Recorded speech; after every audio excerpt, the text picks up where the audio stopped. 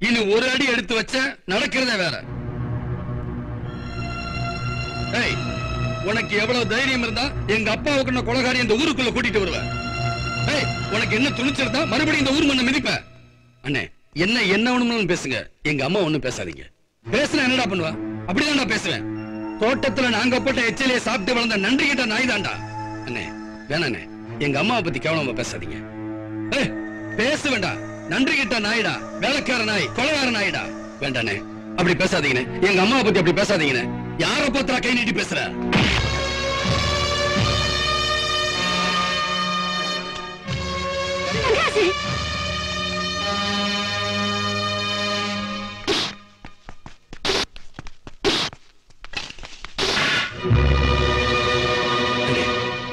நீங்க அடிக்கிற ஒரு அடி கூட இனிமே என் மேல படாதுங்க. ஏன்னா அம்மா ரொம்ப நல்லவங்கண்ணே.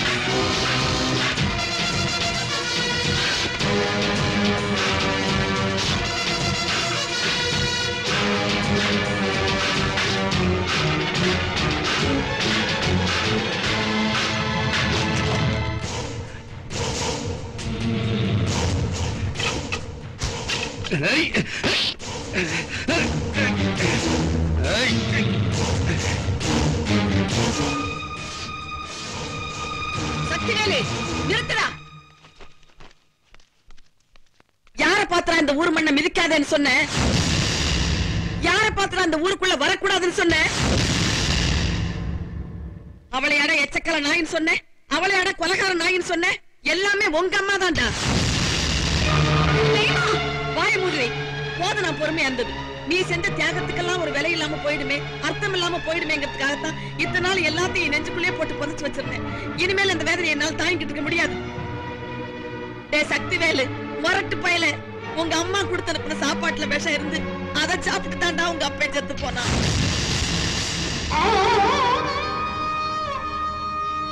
அதை காட்டி கொடுத்துட்டா உங்க அம்மா ஜெயிலுக்கு போயிடுவா. நீ அனாதை ஆயிடுவேங்கிறதுக்காக அந்த கொலைப்புளிய தானே ஏத்துக்கிட்டு வயத்துல பிள்ளையோட ஜெயிலுக்கு போன உத்தமிடாவா? என்ன பாட்டி சொல்றீங்க? ஆமா. அப்ப உனக்கு நாலு வயசு. தங்கராசு அவங்க அம்மா வயித்துல. ஆளுநருக்கு பதினஞ்சு ஏக்கர் நிலம் தான் வச்சுக்கலாம்னு அரசாங்கம். இப்ப புதுசா நில சீர்திருத்த சட்டம் கொண்டு வந்திருக்குமா? நல்ல சட்டம். இதை நான் எப்போ எதிர்பார்த்தேன். அரசாங்கம் கொண்டு வந்த இந்த சட்டத்தை முதல் ஆளா நான் அமுல்படுத்தணும்னு ஆசைப்படுறேன். நீங்க என்னம்மா சொல்றீங்க? இதுக்கு எங்கிட்ட வந்து அனுமதி கேட்கணுமா ஐயா? தாராளமா செய்யறா சார்.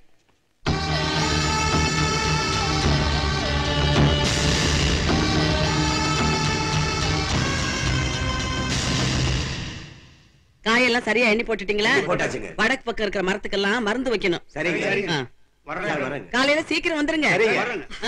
இருக்கிற நேரத்தை எல்லாம் நிலம் இல்லாதவங்களுக்கு எழுதி கொடுக்கறதா முடிவு பண்ணிட்டீங்களாமே? அம்மாவும் மகனுமா சேர்ந்து ஒழிச்சு கட்டதா முடிவு பண்ணிட்டீங்களா? என்னது? ஏன்? கேக்குறதுக்கு ஆள் இல்ல நினைச்சிட்டீங்களா? அப்படி இப்படி ஏதாவது நடந்தது? அப்புறம் நான் மனுஷாவே இருக்க மாட்டேன். ஆமா என்ன செய்வேன்னு எனக்கே தெரியாது. உங்க அம்மா வந்து பத்திரகாளி ஆட்டமா கத்திட்டு போனா. ஆனா உங்க அப்பா மட்டும் அவன் எடுத்த முடிவுல இருந்து கொஞ்சம் கூட மாறவே இல்ல. அதுக்குண்டான வேலையும் நடந்துகிட்டே இருந்துச்சு. அந்த நேரத்துலதான் உங்க அம்மாவோட கல்யாண நாளும் வந்துச்சு. அன்னைக்கு பங்களாவுல போய் உங்க அம்மா கையால தான் சாப்பிடணும்னு உங்க அப்பாவை இந்த கண்ணம்மா வற்புறுத்தினா உங்க அப்பனும் புறப்பட்டான். ஐயோ இன்னைக்கு தங்கச்சியோட கல்யாண நாள். நீங்க தான் பங்களா கூப்பிட்ட வர மாட்டீங்களா அதனால தான் தங்கச்சி சாப்பாடை இங்கே அனுப்பிச்சு விட்டுருச்சு. ஆமா மாப்பிள இனி என்ன? காலையிலேருந்து அந்த வீட்டுக்கு சாப்பிட போங்க சாப்பிட போங்கன்னு சொல்லிக்கிட்டே இருந்தே. அதான் சாப்பாடு வந்துருச்சு. உள்ள வந்து சாப்பாடு போடு. வர்றாங்க மாப்பிள்ள. போயிட்டார தங்கச்சிக்கிட்ட போய் சொல்லிடுவோம்.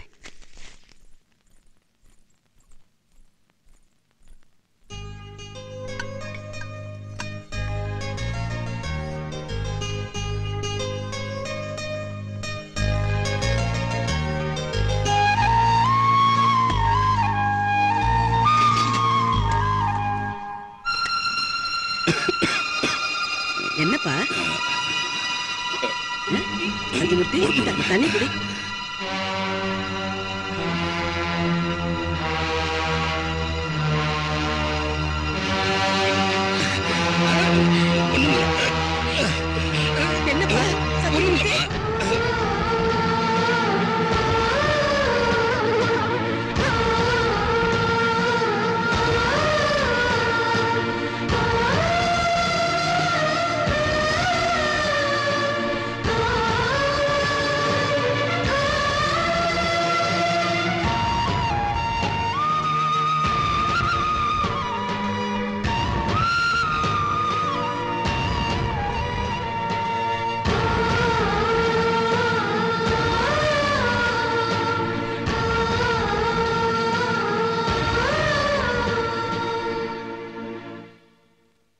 பாட்டி எங்க அப்பாவை கொன்னது எங்க அம்மானா எங்க குடும்பம்னா அவங்களெல்லாம் வெட்டி எரிஞ்சிடுறேன்.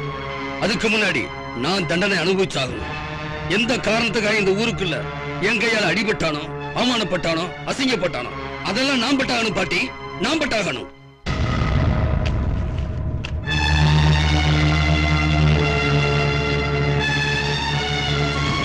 அடிக்க சொல்லுங்க பாட்டி. அவனை அடிக்க சொல்லுங்க பாட்டி. என் தம்பி என்ன அடிக்க சொல்லுங்க.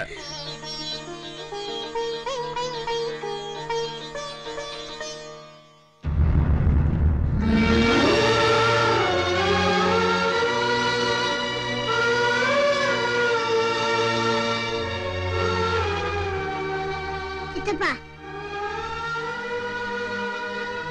தப்பு செஞ்சவங்க யாரா இருந்தாலும் தண்டனை அனுப்பிச்சுட்டாங்க அடிங்க சித்தப்பா எங்க அப்பாவை.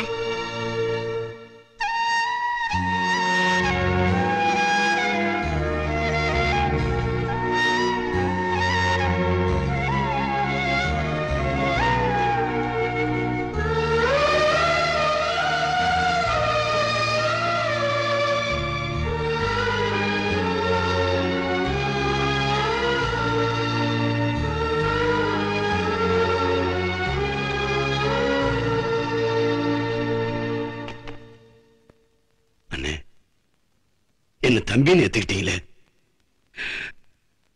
உலகத்தில் அது போதும்னு எனக்கு.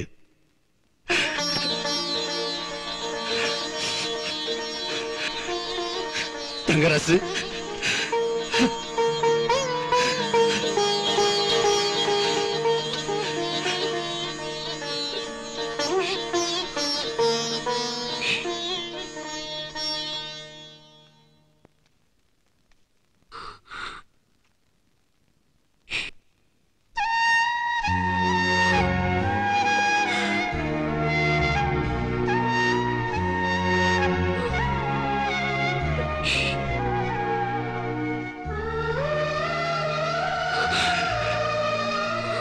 மன்னிச்சுங்கம்மா என்னையும் உங்க மகனை ஒத்துக்குவீங்களா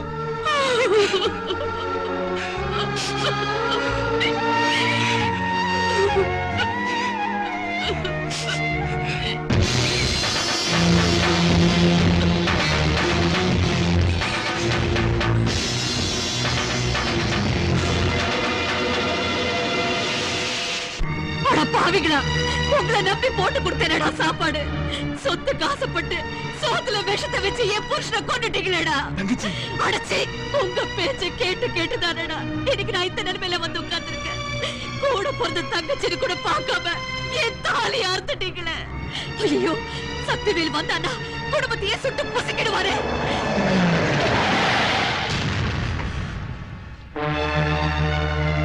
சொத்து சொகை இல்லைனாலும் பூவும் போட்டு நிலைக்கணும்னு ஆசைப்படுவாங்க பொம்பளைங்க. கடைசி வரைக்கும் சுமங்கலியாவே இருந்து சாகணும்னு சாமி கிட்ட வேண்டிக்குவாங்க. நீ என்னடானா? பூவும் பொட்டி இல்லைனாலும் பரவாயில்ல. சொத்து சுகம்தான் வேணும்னு கட்டின புருஷனே கொண்டுட்டியே நீ எல்லாம் ஒரு அம்மாவா? சுடுப்பா சக்தி சக்திவேலு சுடு. நான் செஞ்ச கொடுமைக்கும் பாவத்துக்கும் ஓ கையால செத்து போறதாப்பா எனக்கு விமோசனமே கிடைக்கும். சுடு சுடுப்பா சுட்டு. கூட பிறந்த பாவத்துக்காக இவங்களை கூடவே வச்சிருந்தேன். சொத்து போயிடும் சொத்து போயிடும் சொல்லி பயமுறுத்துனாங்க. அதனால நாளைக்கு நீ நடுத்தருவுக்கு வந்துட கூடாதுன்னு தான் இவங்க சொன்னதுக்கெல்லாம் நான் தலையாட்ட ஆனா இந்த சொத்துக்கு ஆசைப்பட்டு நான் போட்டு கொடுத்த சோத்துலயே விஷத்தை வச்சு அந்த தெய்வத்தை கொலை செய்ய துணி வாங்குது. கடவுளை கூட நான் நினைச்சு பார்க்கலப்பா. சத்தியமா நான் நினைச்சு பார்க்கலையா?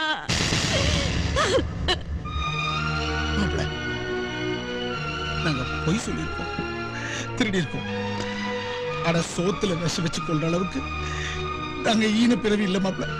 ஈன பிறவி இல்லை. சுடுங்க. எங்களை சுடுங்க.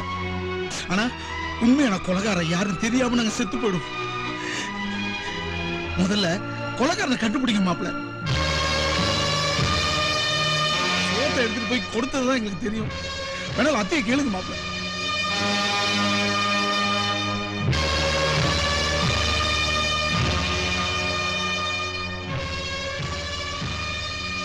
அம்மா நல்லவங்க பாட்டி. இவங்களும் விஷம் வைக்கலன்னு சொல்றாங்க. எனக்கு ஒண்ணுமே புரியல பாட்டி. இவங்க சாப்பாடு கொண்டு வந்ததுக்கு அப்புறம் வேற யாராவது அங்க வந்தாங்களா? யாரும் வரலப்பா. சாப்பாடு கொண்டாந்து வைக்கிறதுக்கு முன்னாடிதான் எருமப்பட்டி தம்பி துறையும் பக்கத்து ஊர் ஜமீன்கள் பத்து பேரும் உங்க அப்பா கிட்ட வந்து ஏதோ காரசாரமா பேசிட்டு போனாங்க. ஆட்டை கடிச்சு மாட்டை கடிச்சு மனுஷனை கடிச்ச மாதிரி எல்லா விஷயத்திலும் எங்களுக்கு எதிராவே நடந்து கூலிக்காரங்களை மடியில தூக்கி வச்சுக்கிட்ட நீங்க இப்ப கவர்மெண்ட் கொண்டு வந்த நில உச்சவரம்பு சட்டத்தை ஏத்துக்கிட்டு இருக்கிற உங்க நிலத்தை எல்லாம் நிலமில்லாத ஏழை விவசாயிகளுக்கு எழுதி வைக்க போறீங்களே? அப்படி எழுதி வச்சா எங்க எல்லாருடைய கதி என்ன ஆகும்? ஒண்ணு ஆகாது. எல்லாம் கோவணத்தை கட்டிட்டு பழனிமலை அடிவாரத்துல போய் மொட்டையை போட்டுட்டு உட்கார்ந்துக்க வேண்டியதான் அட விஷயத்துக்கு வாங்கய்யா. சத்தியமூர்த்தி தோல்ல கிடக்கிற துண்டை எடுத்து இடுப்புல கட்டிக்கிட்டு கால்ல கிடக்கிற செருப்பை தூக்கி கையில வச்சுக்கிட்டு நடக்கிற குப்பனும் சுப்பனும் கூலிக்காரனும் இருக்கிற வரைக்கும் தான் நாமெல்லாம் மிட்டா மிராசி ஜமீன். நமக்கு மாலை மரியாதை எல்லாம். அதனால கூலிக்காரனை வைக்க வேண்டிய இடத்துல தான் வைக்கணும். அற்பனுக்கு வாழ் வந்தா அர்த்தராத்திரியில கொடையை மட்டும்தான் பிடிப்பான் ஆனா அன்னாடுங்காட்சிக்கு வாழ்வு வந்தா கொடையை மட்டும் இல்லைங்கோ நம்ம குடுமையும் சேர்ந்து பிடிப்பான் இல்ல சத்தியமூர்த்தி நான் தெரியாம தான் கேக்குறேன். நமக்கெல்லாம் பரம்பரை பரம்பரையா குடும்ப சொத்து ஆயிரக்கணக்கான ஏக்கர் இருக்குது. சட்டப்படி நமக்கு அப்புறம் நம்ம வாரிசுகளுக்கு தான் அது சேரணும். அதை எழுதி கொடுக்கறதுக்கு நமக்கு என்ன அதிகாரம் இருக்கு? ரைட்ஸ் இருக்கு? கவர்மெண்ட் சட்டம் கொண்டு வந்திருக்குதுன்னா அதை எடுத்து கோர்ட்டுக்கு போவோம். இல்ல சட்டத்துல ஆயிரத்தெட்டு ஓட்டை இருக்கு. அதை செய்யறதை விட்டுவிட்டு பேசி முடிச்சிட்டீங்களா? என்ன சொன்னீங்க? கூலிக்காரனை வச்சிருக்க வேண்டிய இடத்துல தான் வச்சிருக்கணுமா? அவன் என்ன குற்றவாளியா நாம திங்கிற சோத்துல இருந்து போடுற துணிமணி வரைக்கும் நாம உபயோகப்படுத்துற அத்தனை பொருளுமே கூலிக்காரன் கைப்படாம உருவாகிறது இல்ல அதுக்கெல்லாம் அவன் வேணும். ஆனா அவன் மட்டும் நமக்கு வேண்டாம். நல்ல பாலிசி என்ன சொன்னீங்க? பரம்பரை சொத்தா? எனக்கு இருபதாயிரம் ஏக்கர் இவருக்கு பதினஞ்சாயிரம் ஏக்கர் இவருக்கு பன்னெண்டாயிரம் ஏக்கர் அவருக்கு ஏழாயிரம் ஏக்கர் அவருக்கு அவருக்கு எல்லாருக்குமே இருக்கு. இந்த நிலமெல்லாம் யாரு யாருக்கு பட்டா போட்டு கொடுத்தது? இன்னைக்கு சந்திரனுக்கும் செவ்வாய் கிரகத்துக்கும் ராக்கெட் அனுப்பிக்கிட்டு இருக்காங்களே. எதுக்காக? அங்கே காத்து இருக்குதா? தண்ணி இருக்குதா? மனுஷன் உயிரோட வாழ முடியுமான்னு பாக்குறதுக்காக. இப்படித்தான் நாம வாழ்ந்துகிட்டு இருக்கிற பூமியும் ஒரு காலத்துல இருந்தது. எல்லாமே எல்லாருக்குமே பொதுவா இருந்துச்சு. அன்னைக்கு ஜாதி இல்ல மதம் இல்ல மொழி இல்ல நாடு இல்ல எல்லை இல்ல பாண்டுபத்திரம் இல்ல ரிஜிஸ்டர் ஆபீஸும் இல்ல. மிருகமா இருந்த மனுஷன் படிப்படியா வளர்ந்தான். வலுவுள்ளவன் நிலத்தை வளைச்சு போட்டுக்கிட்டான். வலுவில்லாதவன் அவன்கிட்ட கை கட்டி நின்னா அடிமையா? அன்னைக்கு அடிமையா கையை கட்டினவன் தான் இன்னைக்கு தொழிலாளியாவும் பாட்டாளியாவும் விவசாயாவும் கூலிக்காரனாவும் டிரைவராவும் கிளர்க்காவும் இன்னமும் நம்ம கிட்ட கையை கட்டி நின்னுகிட்டு இருக்கான். ஒரு காலத்துல எல்லாருக்கும் பொதுவா இருந்த நிலத்தை இன்னைக்கு அவங்களுக்கும் பிரிச்சு எழுதி வைக்கிறதுக்கு எனக்கு ஒரு சந்தர்ப்பம் கிடைச்சிருக்கு. அதைத்தான் நான் இன்னைக்கு செய்யறேன் சத்தியமூர்த்தி கதர் சட்டை போட்டுக்கிட்டு கம்யூனிசம் பேசுறீங்களா? நான் பேசுறது சயின்ஸ் தத்துவம் உண்மை. அதுக்கு நீங்க என்ன பேர் வச்சுக்கிட்டாலும் அதை பத்தி எனக்கு கவலை இல்லை. கண்டதும் கையெடுத்து கும்பிடுறவன்லாம் இனி கை நீட்டி பேச போறான். நமக்கு சரி சமமா நம்ம சிம்மாசனத்திலே உட்கார்ந்துகிட்டு நமக்கு எதிராக காலாட்ட போறான். எது உங்க சிம்மாசனம்? நீங்க சொல்ற உங்க சிம்மாசனத்துக்கு நாலு காலம் இருக்கிறவனே தொழிலாளியும் பாட்டாளியும் விவசாயியும் கூலிக்காரனும் தான். அவன் மேலே ஏறி உட்காந்துக்கிட்டு அவனையே அதிகாரம் பண்ணிக்கிட்டு இருக்கீங்களே அப்படிப்பட்ட சிம்மாசனம் எனக்கு தேவையில்லை. இந்த நாட்டுல இருக்கிற கோடான கோடி சாதாரண ஏழை ஜனங்களோட மனசுதான் எனக்கு பெரிய சிம்மாசனம். அதுல எனக்கு எப்பவுமே ஒரு தனி இடம் உண்டு. முடிவா நீங்க என்னதான் சொல்றீங்க?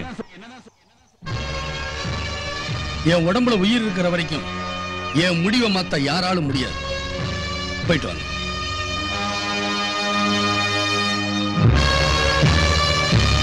ஆமா மாப்பிள நாங்க தோட்டத்துக்கு சாப்பாடு எடுத்துட்டு போகும்போது ஒத்த பாலத்துல தம்பி தோறக்கார ஏத்தாப்புல வந்துச்சு. அங்கதான் எங்க வண்டி மாட்டிக்கிச்சு. கார் எடுக்கிறதா வண்டி எடுக்கிறதான்னு அரை மணி நேரமா எங்களுக்குள்ள தகராறே நடந்துச்சு அண்ணன் தம்பி ரெண்டு பேருக்கு உண்மை தெரிஞ்சிருச்சு. அது ஆபத்து கறிக்குறி அவங்க நேரம் இங்கதான் வருவாங்க. வழியிலேயே அவங்களை வெட்டி எரிகிறா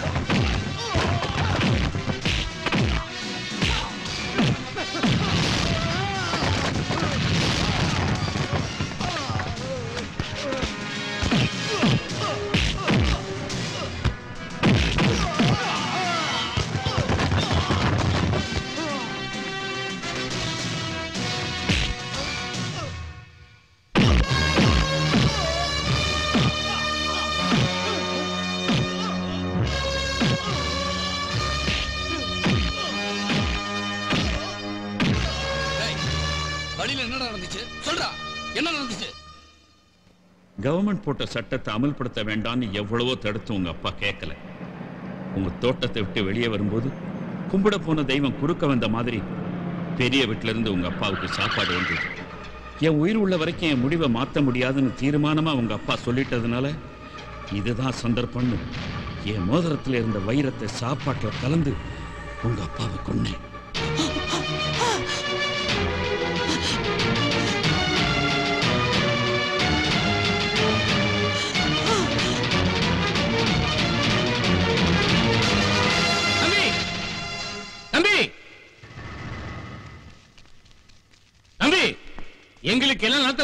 போன எங்க தெய்வத்தை கொண்ட கொலகார பாவிய எங்கிட்ட விட்டுருங்க தம்பி. நீங்க நல்லா இருந்தா நாங்க நல்லா இருப்போம். நீங்க ஏன் அந்த பாவியை வெட்டிட்டு ஜெயிலுக்கு போகணும்? நீங்க வாழ வேண்டியவங்க.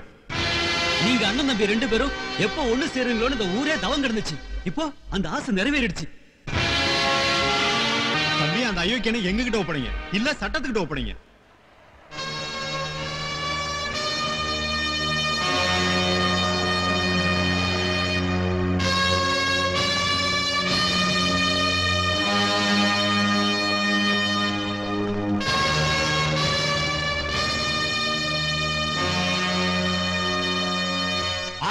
எல்லா பிரச்சனையும் தீர்ந்துருச்சு. இல்ல இப்பதான் பிரச்சனையே ஸ்டார்ட் ஆக போகுது. தங்கராஜ் கல்யாணம் மேட்ரு என்ன தங்கராஜ் கல்யாணம் மேட்ரு ஏன் பொண்ணு தானே கட்டிக்க போறேன்? ஏன்? என் பொண்ணு கல்யாணம் பண்ணிக்க மாட்டானா? நான் தானே மூத்தவன். என்னடா அது வம்பா போச்சு? எப்பா தங்கராசு நீ யார கட்டிக்க போற? டேய் ஒன்னதான் யார கட்டிக்க போற? சக்திவேலு என்னப்பா? டேய் பாட்டி கேக்குறாங்கல்ல சொல்றா. பாட்டி நான் யாருக்கிட்டையும் அப்படி பழகல. பெரியவங்க நீங்க என்ன சொன்னாலும் சரிதான். அப்படியா? ஏம்மா கண்ணுங்களா? உங்கள யார் மாமனை கட்டிக்க போறீங்க? யார் விட்டு கொடுக்க போறீங்க? பாட்டி எங்களுக்கு ஒரு நிமிஷம் டைம் வேணும். எடுத்துக்குங்க. என்னது? ரகசிய ஓட்டெடுப்பா ஏன் உன் பொண்ணுக்கு டெபாசிட் கிடைக்காதா? என் பொண்ணு லீடிங்ல ஜெயிச்சிருவா. ஆ தேர்தல் தேதியை சொல்லுங்க. வெற்றி நம்ம தான்